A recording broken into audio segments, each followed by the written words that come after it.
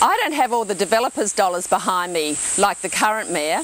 Last time he ran a $260,000 campaign. So I've had to look at different ways of campaigning. And one of those is to decorate my car. So you'll see the Val Schier for Mayor car all over the Cairns Regional Council area.